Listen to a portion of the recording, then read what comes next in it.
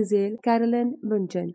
She was born on 28 July 1980. She is a Brazilian model. Since 2001, she has been one of the highest paid models in the world. In 2007, she was the 16th richest woman in the entertainment industry and earned the top spot on Forbes' top earning model list in 2012. In 2004, she was listed as the 89th most powerful woman in the world by Forbes. Vogue created the Bündchen Witch, ending the heroin chic era of modeling in 1999. She was a Victoria's Secret angel from 1999 until 2006.